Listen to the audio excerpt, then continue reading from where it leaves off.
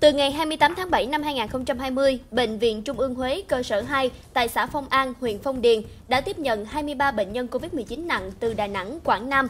Trong đó, 4 ca đã tử vong do các bệnh lý nền và mắc COVID-19. Hiện tại còn 19 bệnh nhân COVID-19 đang điều trị ở Bệnh viện Trung ương Huế cơ sở 2, trong đó có 3 người rất nguy kịch. Theo thông tin từ Bệnh viện Trung ương Huế, các bệnh nhân này được chuyển từ Bệnh viện Đa khoa Trung ương Quảng Nam và từ các bệnh viện Đà Nẵng. Qua thăm khám các bệnh nhân đang điều trị, một số bệnh nhân biến chứng rối loạn đông máu nặng, tiến triển nặng, nguy cơ tử vong cao.